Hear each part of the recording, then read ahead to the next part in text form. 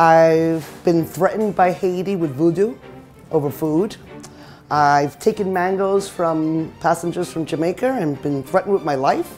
Never a dull moment here at JFK. Make it easier. That's it.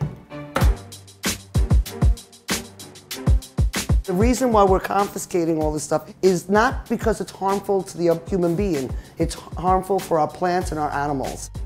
This is a big port. Last month we processed 1.5 million passengers. You figure between fruits and vegetables, you're talking about two or 300 kilos a day in just one terminal.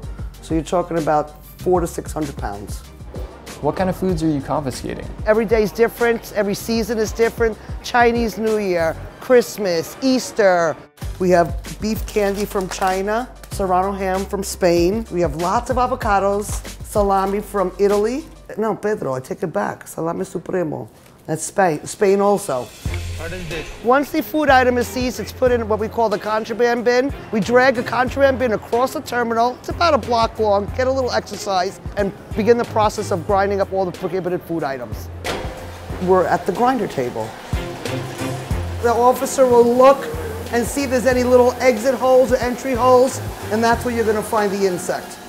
Do you enjoy that part of the process? Is it kind of a stress reliever for you? Oh, the grinder is great. Sometimes I go home with a little bit of mango juice and passion fruit juice on. It's just having fun, the water splashing in your face. But this is what we have to do to protect American agriculture. It's part of our job.